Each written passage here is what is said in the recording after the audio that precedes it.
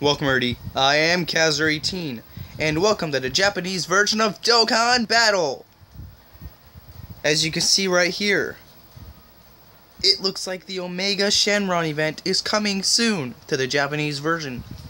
Whenever these pop up, that means it's usually two days from now. Don't I don't know what this says, but I know by that face that it is Omega Shenron. I think it's mo that is most likely Sin Shenron or um hmm. Yeah, that's Sin Shenron. He'd probably Dokkan's into Omega Shenron or something like that. Don't know 100% sure.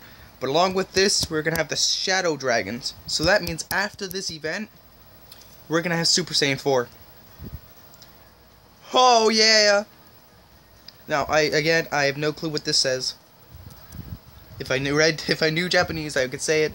I would read it. But looks like the Omega Shenron and the Shadow Dragon Summon event, Dokkan event is coming soon. The Japanese version about two days now. So today's Wednesday, Thursday, Friday, Friday, coming Friday, Omega Shenron Dokkan event. That's gonna be awesome.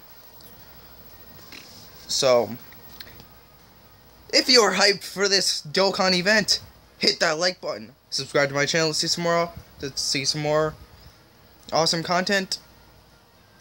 Comment down below that you are excited, that you are hyped. I'm hyped. It's gonna be awesome. Thank you, and I'll see all of you next time. Goodbye.